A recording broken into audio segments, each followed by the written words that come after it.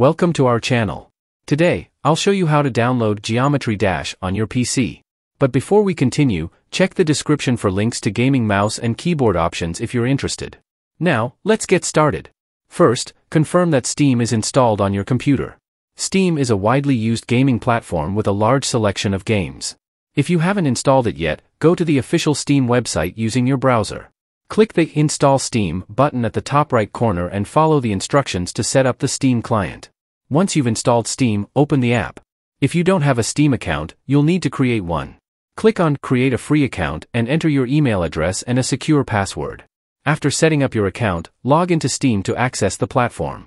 Now, locate the search bar in the top right corner. Click it and enter Geometry Dash. The game should appear in the search results. Click on its title to open the store page and get more details. To purchase the game, click the green Add to Cart button. Once you've completed the purchase, go to the Library tab at the top. You'll find Geometry Dash listed among your games.